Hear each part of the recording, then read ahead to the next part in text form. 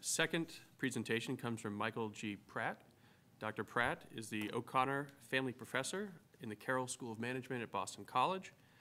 Mike's research is problem-centered and process-oriented and has broadly examined how people connect with the work that they do, as well as to the organizations, professions, occupations, and other collectives in which they find themselves.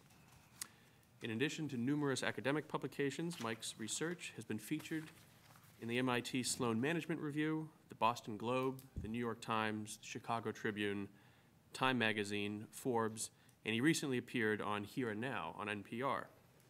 He's also the lead editor on a forthcoming book, The Handbook of Organizational Identity, and is currently an associate editor at the Administrative Science Quarterly.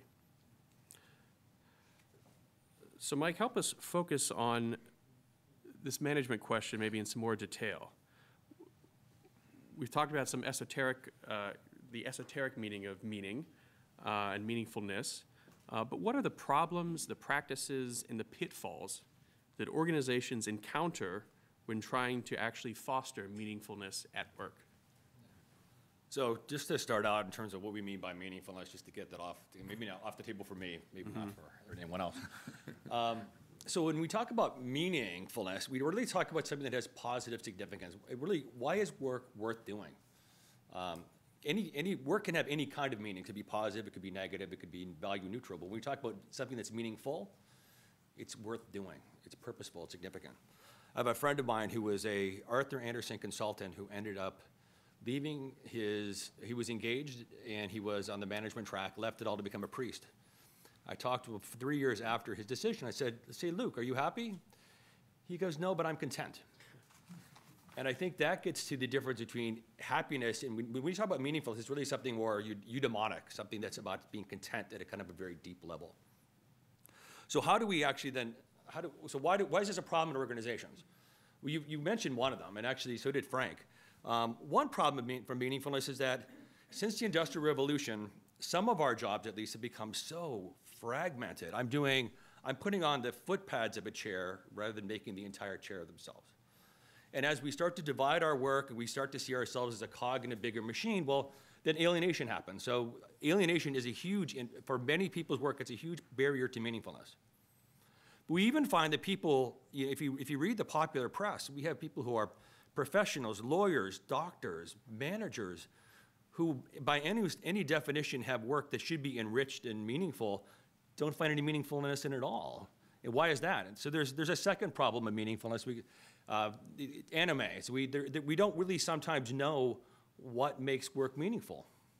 So I, the example I give is that sometimes I will come home at the end of the day.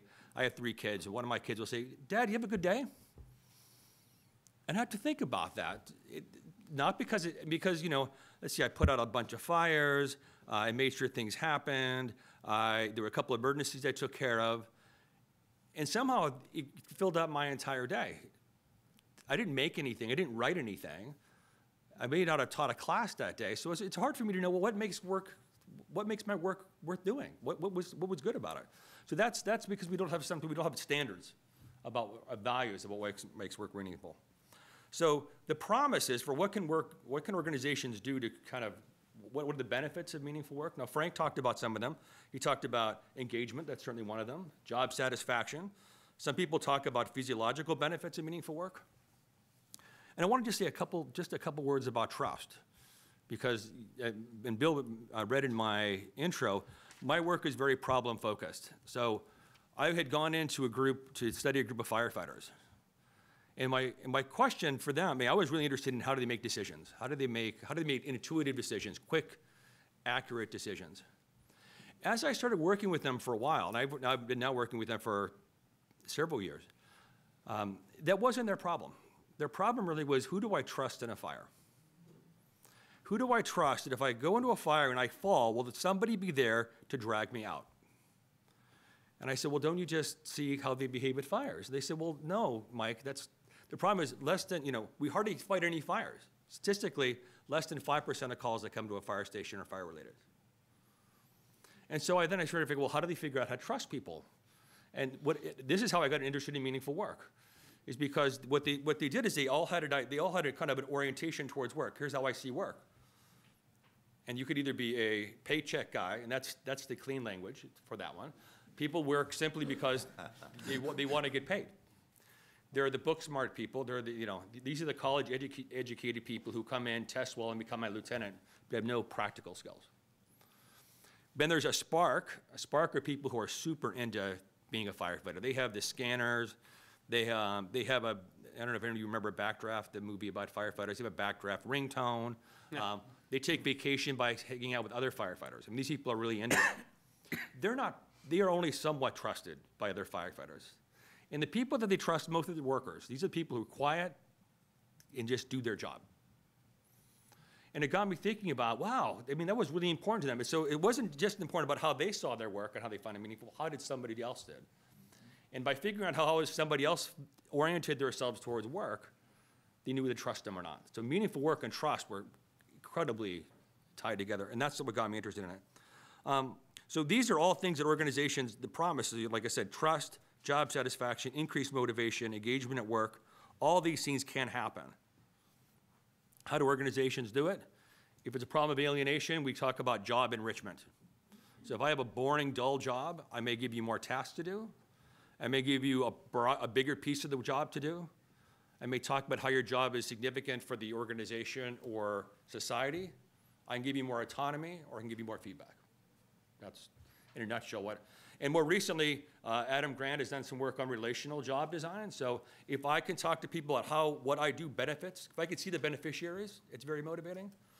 And um, Frank mentioned janitors. There's a, there's a, there's a research done by uh, Jane Dutton, Amy Wrzesniewski, and others at University of Michigan on job crafting. And their, and, the, and their population is, is janitors at, or, or cleaning staff at a hospital. And it was, and what they said, that they didn't have somebody, a management trying to make their jobs more enriched. They just did it themselves. And part of the way they do it is through customer, uh, for, from interactions with patients. So that's a whole set of things they can do, what organizations can do. The other, th- the other way to, to combat meaningfulness is we need to have better stories. We need to have better accounts for why we do what we do. In society, we find there's at least six of them. I work because of it, it's a job. I make a paycheck to do something else outside of work. I work because it's a career, because I want to advance. Those are both very self-centered, I mean, focused toward the self.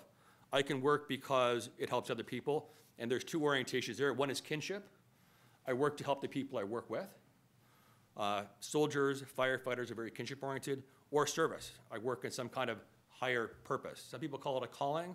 Um, If we have time, I'll tell you why we don't use calling, but, um, but those are all different ways we can think about how the work we do is, what, what purpose does it for you? Why is it worth doing? And the last question you asked, I'm just gonna give you kind of a brief overview, are what are the pitfalls? Um, I think they are, I think the biggest pitfall with any time we try to manage meaning is to do it authentically and to do it for the right reasons. Um, and I think we, I think we tend to think of the real, like, crass examples of like, well, organizations say they want to help the environment, but they're greenwashing. And there's certainly some deliberate deception that goes on, but sometimes it's not quite so straightforward. So I had I was a board president of a, a not-for-profit, and one of the things that we did at the not-for-profit was to help artisans in developing countries sell their products at a fair wage to people in the US. Fantastic mission, very noble, except they didn't pay the manager much money and they didn't offer her health insurance. And I said, well, why, you know, why is that? Well, you know, we're trying to help these artisans over here in this other country, so, and, and, you know, her spouse can pay for the health insurance. I said, well, is it right to take advantage of our own people to help other people? So sometimes in the service of helping others, we sometimes neglect our own employees, so that's another pitfall.